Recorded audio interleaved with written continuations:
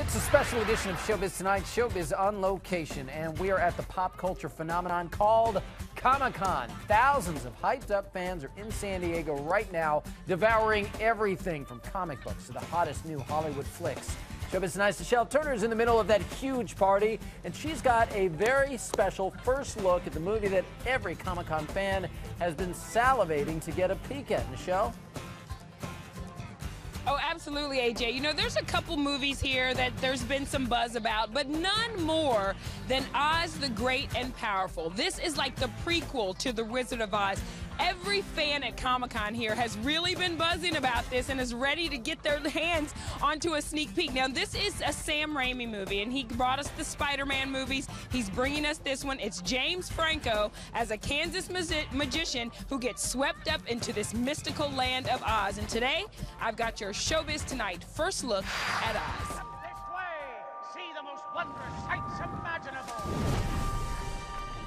Kansas is full of good men. I don't want to be a good man. I want to be a great one.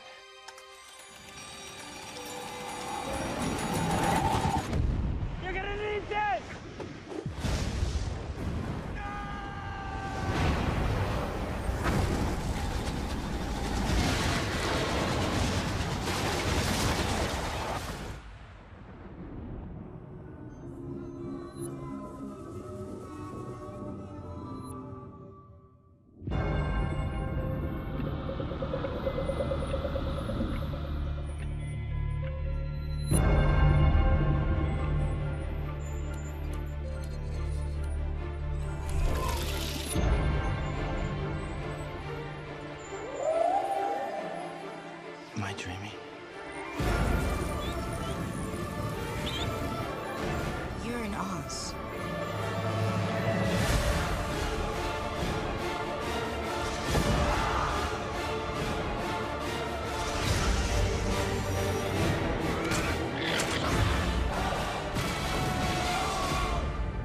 Aren't you the great man we've been waiting for?